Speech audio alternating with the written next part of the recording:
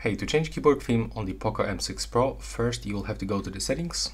Next you will have to scroll down, go into the additional settings.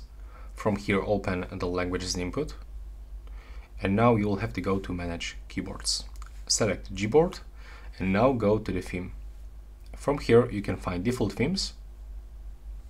When you click on one of it, you can actually see the preview.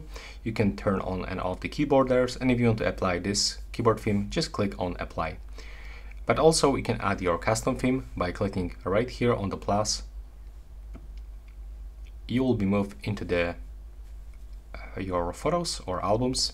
Let's say that I want to get this photo and now I can pinch to adjust uh, the, to adjust this photo and then I have to click next and I can set the brightness of this background picture for example I'm gonna set it up like this then I have to click done and additionally I can turn on and off the key borders.